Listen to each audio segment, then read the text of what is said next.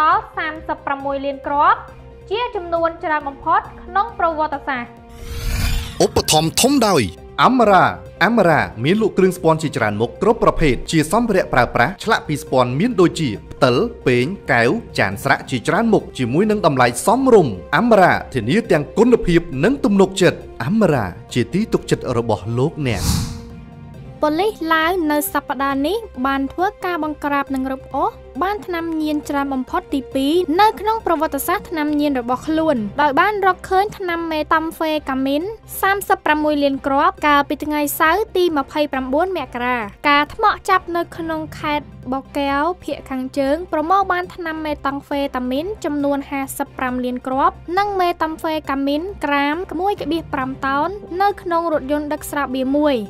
ឡាវជាផ្នែកមួយនៃតំបន់ត្រីកោណមាសដែលក្របដណ្ដប់ព្រំដែននៃប្រទេសមីយ៉ាម៉ាន ថៃនិងឡាវលោក Jeremy Dokwah មន្ត្រីការិយាល័យថ្នាំញៀននិងឧក្រិដ្ឋកម្មរបស់អង្គការសហប្រជាជាតិប្រចាំតំបន់បាននិយាយថាមនុស្ស4នាក់ត្រូវបានចាប់ខ្លួនពាក់ព័ន្ធនឹងការបង្ក្រាបថ្នាំញៀនលើកនេះនៅទីប្រជុំជនមួយ Dokwah បាននិយាយទៀតថា